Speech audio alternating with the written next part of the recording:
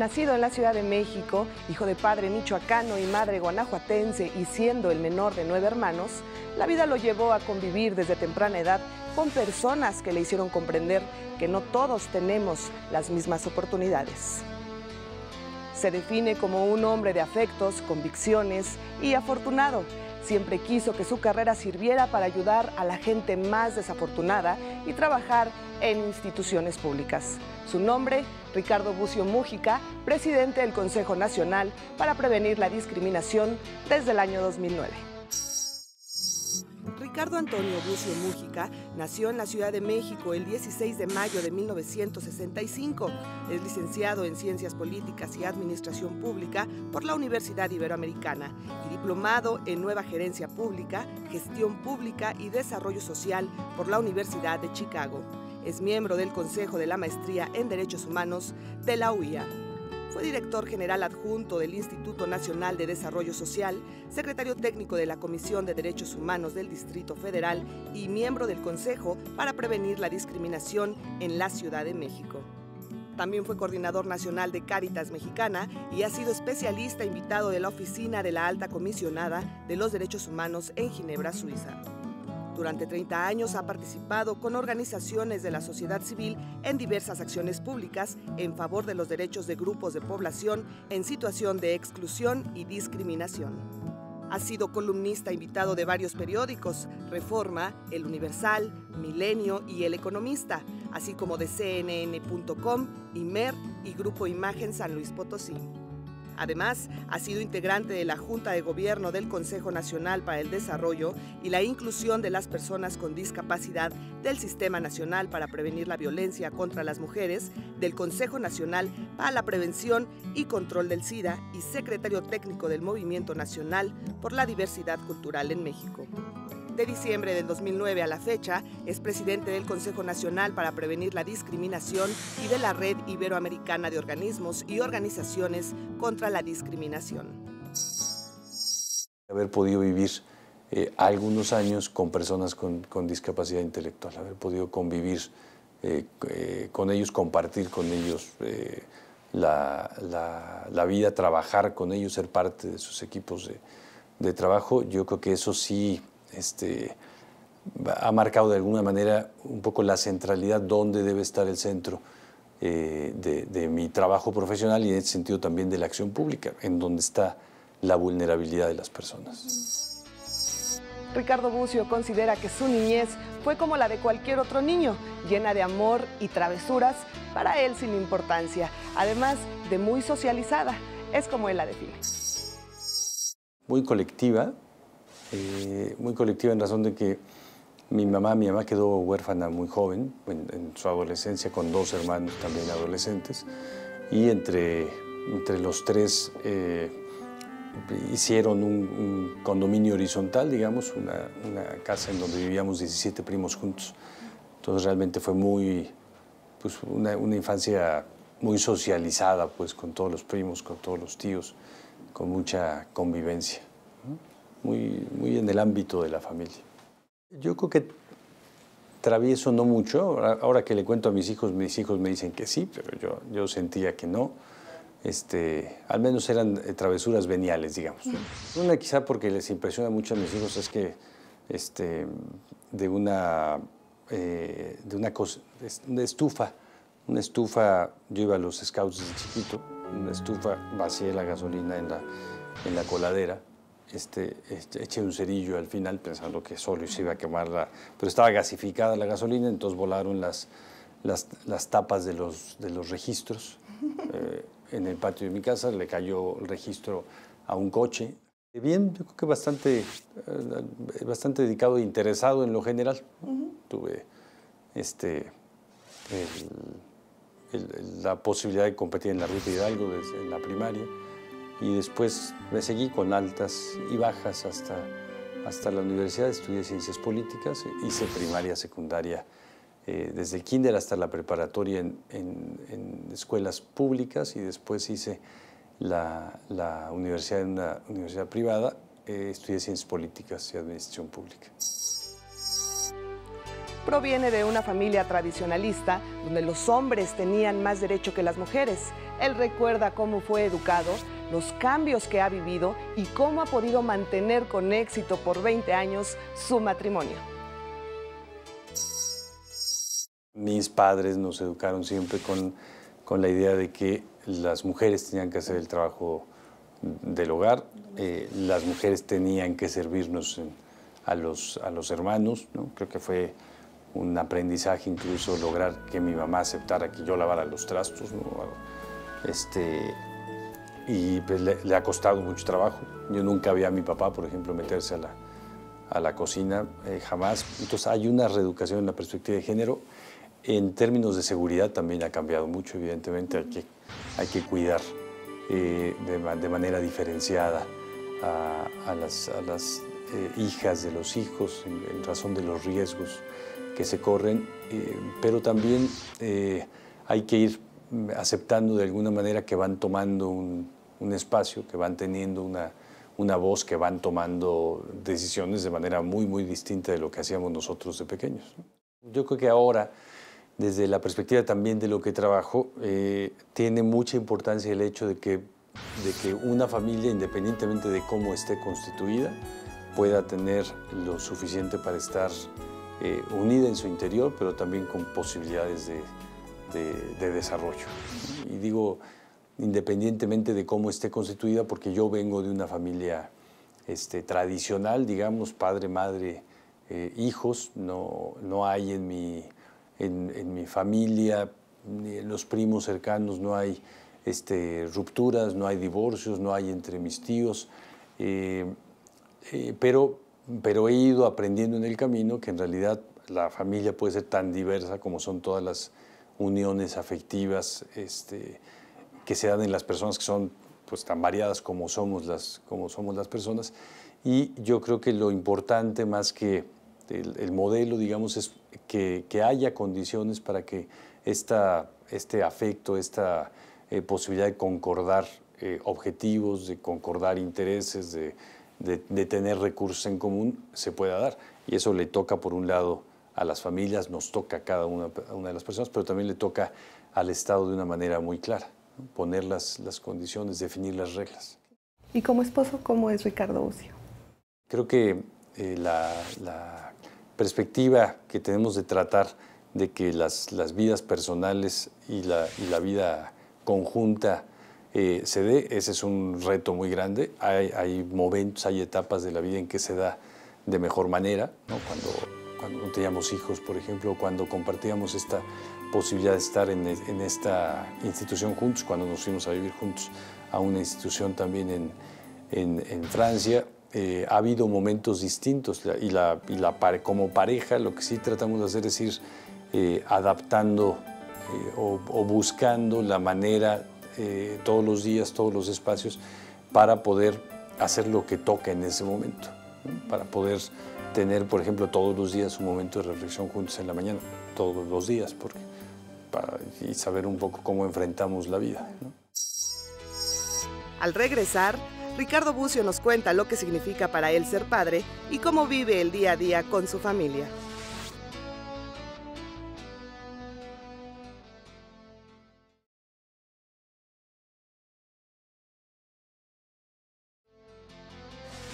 Padre de cuatro hijos, Ricardo Bucio ha aprendido a respetar su autonomía y gustos, a veces exigidos por ellos. Para mí ser, ser padre es lo, lo, mejor que me ha pasado en la vida, sin duda ninguna. Eso, es una, eso es una cuestión esencial y hay tantas cosas que nos pasan en la vida, tantas cosas por las que nos podemos interesar, en las que nos podemos meter, que nos pueden atraer de distintas maneras, que, que lo hacen de hecho todos los días, que, que, cuando se pierde de vista aquellas tres o cuatro cosas por las cuales uno, uno apostaría todo, eh, entonces se puede empezar a perder todo realmente. Entonces, creo que en la vorágine de la, del tipo de vida que vivimos, de la sociedad en que vivimos, lo que sí hay, no hay que perder de vista pues, es cuáles son las cosas que para mí, para mi vida en particular, son, son esenciales. Esa y las cosas en las que creo, por ejemplo. Una vez yo le decía a uno de, a, mi, a mi hijo que, que se le ocurrió desde, desde pequeño ir a la América Y yo le decía, no, hay, hay, hay límites en la vida. Eso sí, no. Y yo le decía, tú tienes la total libertad de irle a la América, nada más que este, tendrías que vivir fuera de esta casa. Y yo lo decía de broma, y bueno, para tratar de convencerlo también de que le fuera al, equipo que le debería de ir, que es al Cruz Azul. Eh, pero mis hijas me dijeron, eh, mis hijas muy chiquitas, tendrían 7, 5 años, me dijeron, eso es discriminación. Y yo les decía, es una broma, y me decían, ni de broma. Porque o estás, o estás con lo que dices o no estás con lo que dices, ¿no? Si tú dices que él se vaya, nos vamos a ir todos. Y yo decía, no, no, tampoco es para tanto. yo creo que este, eh, esto, bueno, pues el tema de la, la, congruencia es un reto permanente y cotidiano en todos los espacios. Si su hijo un día le dice, me quiero poner un tatuaje. Ya me dijeron al menos tres de los cuatro. Sí, pues los voy a acompañar, voy a tratar de decirles de, dar, de darles la información, de darles los, de, ver cuáles son los riesgos y de acompañarlos a, hacerlo de la, de la, manera menos riesgosa posible, más, más segura posible. Desde muy joven, Ricardo Bucio tuvo la necesidad de ayudar a los más desprotegidos.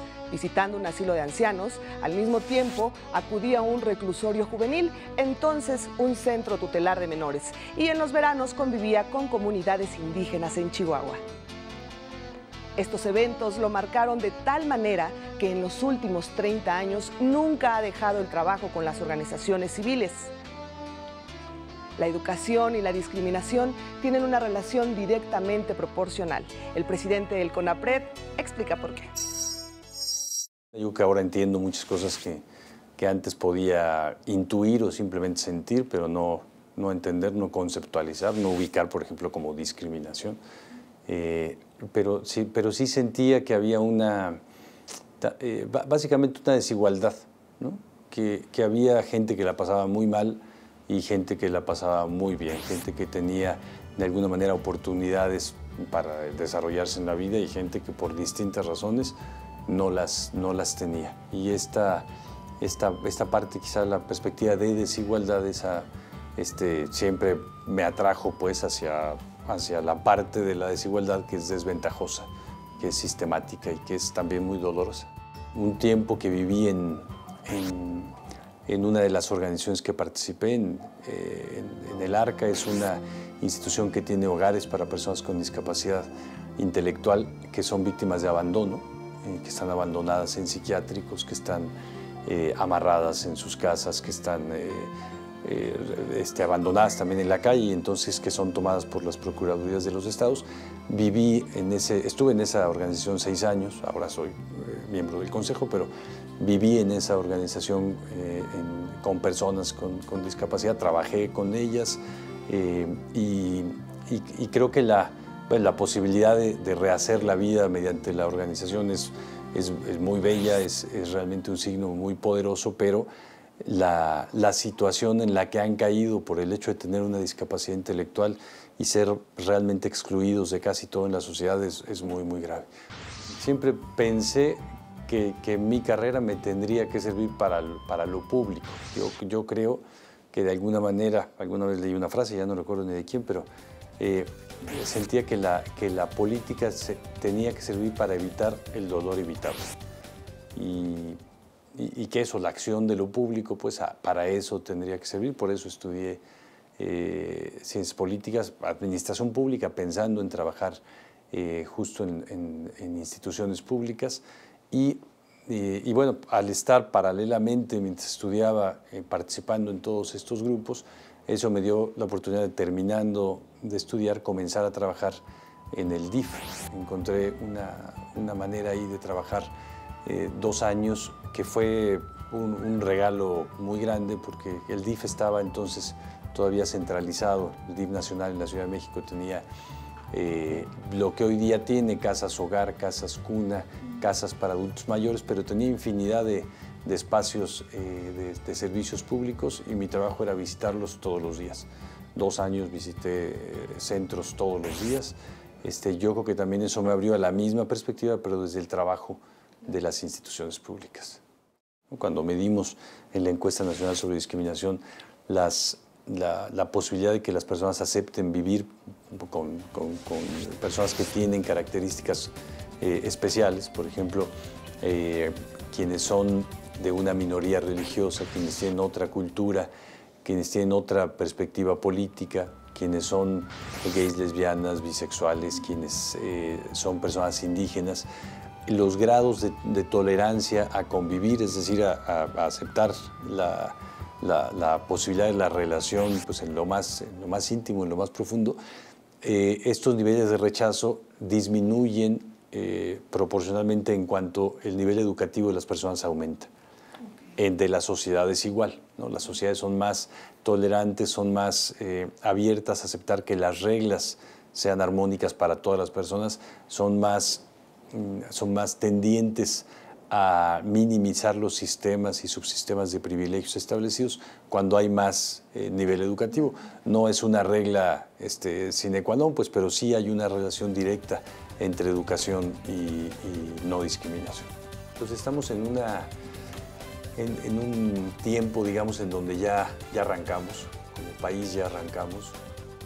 Eh, puedo decir, por ejemplo, que hasta 1996 México le dijo a, Naciones Unidas en, los eh, comités en donde tenía que entregar informes por ser parte de los tratados internacionales que en México no había discriminación racial, pese a la situación que viven los indígenas, eh, los pueblos, comunidades indígenas en nuestro país, o pese al desconocimiento que hay de la, de la población afromexicana, no había discriminación racial eh, pero eso en 2001 eh, empezamos a revertirlo, comenzamos con un proceso de reconocimiento de la discriminación en la Constitución.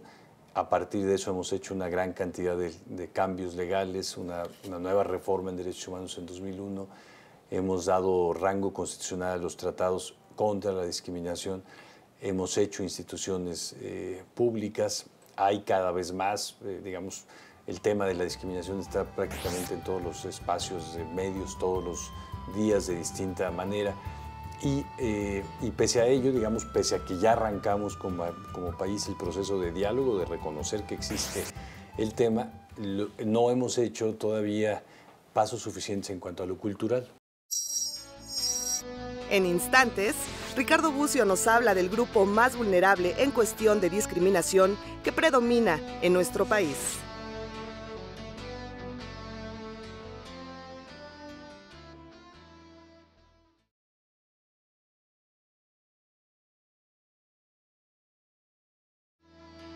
La discriminación de género es la que existe transversalmente en México. Según la encuesta nacional sobre discriminación, 96% de la población sabe que las mujeres viven situaciones de violencia, pero no es un tema de alarma en nuestro país, como lo fue el grito de la afición mexicana al momento del despeje del portero en el pasado Mundial de Fútbol. Esta es la opinión de Ricardo Bucio al respecto. Yo diría que no hay espacio ningún espacio ni público ni privado en donde no haya discriminación de género en México. Entonces, ese sí está en todos los espacios y cuando se liga a cualquier otra forma de discriminación, es decir, discriminación por discapacidad y género, eh, discriminación a, personas migrantes y género, discriminación por homofobia y género, en todas las, las situaciones de discriminación las mujeres tienen una mayor vulnerabilidad a la discriminación que los hombres, ¿no? sea clasismo, sea machismo, sea racismo, sea cualquier forma de discriminación. Como el hecho de que las, las trabajadoras del hogar, 26% eh, de la población acepte que se les dé de comer los, eh, los alimentos sobrantes o 17% de los adolescentes justifiquen la violencia física contra las mujeres eh, o, o situaciones de este tipo. Pues hay una cuestión de normalización que sin embargo sí va cambiando. Quizá un, dato en particular que nos dice cómo avanza el proceso es que eh, casi 7 de cada 10 personas en nuestro país no tienen motivos para oponerse a que dos personas del mismo sexo contraigan matrimonio. No es que estén de acuerdo, es que dicen no tener motivos para oponerse. Yo, creo que dos opiniones en general. Uno, eh, una, una perspectiva y una convicción de que es una expresión discriminatoria de que ninguna forma de discriminación, aun cuando sea grito, es inocua, porque estamos como estamos también como país, porque nos hemos dado chance de aceptar muchísimas cosas, las chiquitas, las grandes, las chiquitas que se van haciendo medianas, que se van haciendo grandes, que se van haciendo históricas y estructurales. Eh, eh, y, por otro lado, como la, la eh, quizá la, certeza de ir en un, rumbo correcto y de, una, una un agrado en ese sentido como, como institución de, del debate del debate. Tenemos hasta ahora este, reunidos al menos 160 artículos de, columnistas, de articulistas, de editoriales sobre, sobre el grito, sobre perspectivas a favor, en contra, análisis de las perspectivas, comparación con otro tipo de discriminación. Y lo que me parece muy, muy importante es que existe el debate público, que nos cuestionemos, que que dialoguemos sobre eso, que sepamos si realmente tiene un efecto o no lo tiene, si es lo que dicen unos, es una forma de diversión, forma parte de las tradiciones y cultura familiar, como, como dijeron incluso este, directivos de la, de la federación, o, eh, o como dicen otros, esto tiene una afectación y tiene una relación esta, esta expresión pública con el hecho de tener eh, centenas, no, no, eh, no pocos, pues centenas de personas muertas por homofobia en nuestro país. Creo que, eh, que sí hay una, una relación y, y, lo que me parece más sano en este caso en particular es el debate. Yo espero que, que sí lo podamos seguir dando y sobre cada situación que sea tan, tan compleja en nuestro país la hagamos, no solo sobre esto. Yo hubiera querido ver 160 eh, artículos sobre la situación de discriminación que viven los indígenas en México y eso no sucede. Existen personajes que lo inspiran en su trabajo como relator de los derechos humanos. El Premio Nobel de la Paz, Nelson Mandela, es uno de ellos. Con casi cinco años al frente del Consejo Nacional para prevenir la discriminación, para Ricardo Bucio queda mucho trabajo por hacer. Tengo muchos. Eh, Nelson Mandela me gusta en particular.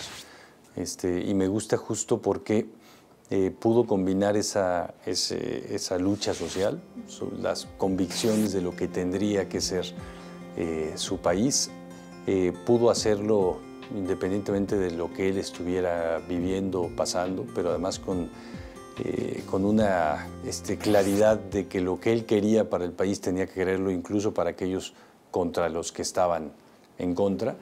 Y em, y, porque logró hacer de todo esto un, sistema político, pues ¿no? No, no, modificó la perspectiva, la adecuó, la potenció, la, la hizo una política de Estado. Y, yo creo que eh, he conocido, por eso digo afortunado, he conocido en la, en la vida muchísimas personas, muchísimas que me, han, que me han marcado, que me han ayudado, que me han enseñado.